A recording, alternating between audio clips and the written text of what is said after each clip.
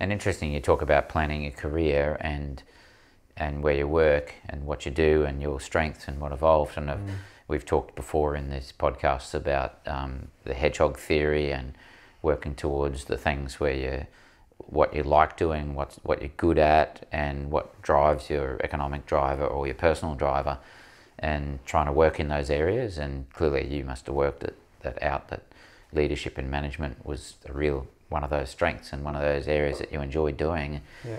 And and the other bit was taking a chance. And we've heard in people like Ian Goodman, who you know, um, talk about you know having had that chance and provided to them, and then taking the leap of faith to have a have a crack at it. And, mm. and do it. One of the experiences that's been pivotal for me was um, when I worked with for De Beers. I joined Finsch Mine. It was going from an open pit to an underground, so it was a major capital project to prepare the underground to take over from the open pit. Um, and the guy who'd been selected to run it, he, he became a mentor of mine, and he, he, he was such a great leader because he was he was an electrical engineer in a mining environment, and all my experience up until then had been that you're a mining engineer, you do your time underground, whatever the case may be, you come up through supervisory ranks. That's how you become a leader.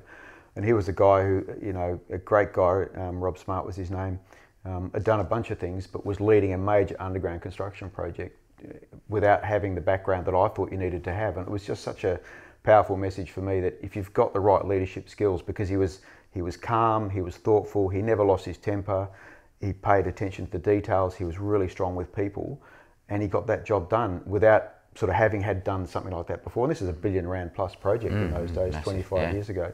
And I thought, well, you know, that's leadership in action. You don't have to be the technical expert in everything. You've just got to take time to know people support people, you know, be positive, um, and that's that's what he was. And he became a role model of mine again, and that's there's some of the traits that I decided I wanted to develop uh, to be successful because I saw what he achieved by being that type of person.